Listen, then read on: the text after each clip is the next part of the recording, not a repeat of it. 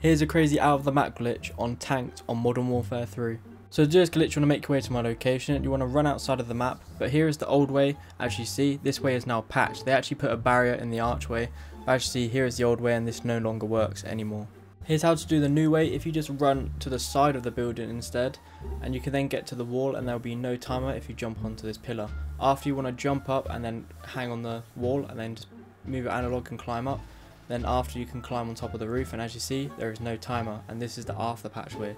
This glitch is pretty cool because you can get some good views and this only works online and it doesn't work in custom games due to the timer being 3 seconds. But yeah that's it for today's video. We're very close to 6,000 subscribers so make sure you like subscribe, and subscribe. Peace out.